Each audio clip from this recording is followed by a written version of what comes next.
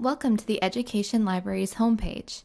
From here, I'm going to show you just a few of the resources available on the website that can help you with your research and lesson planning. First, notice the search bar at the top left-hand corner of the page.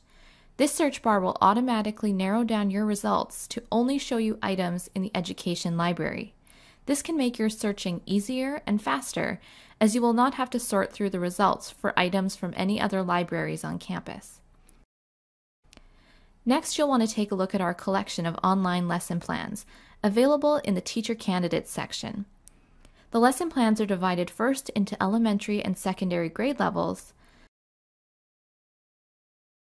and they are then divided by their subject. All of the lesson plans included here are free for you to access.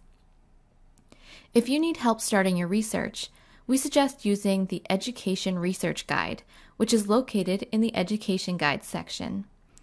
Here you'll find key education databases and websites, as well as library video tutorials and other resources.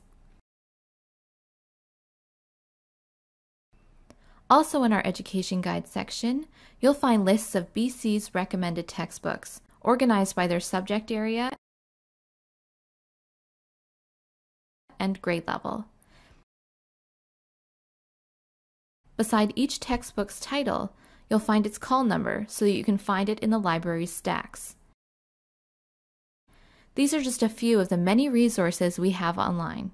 If you have more questions about your research or the resources on our website, make sure you ask someone at the information desk.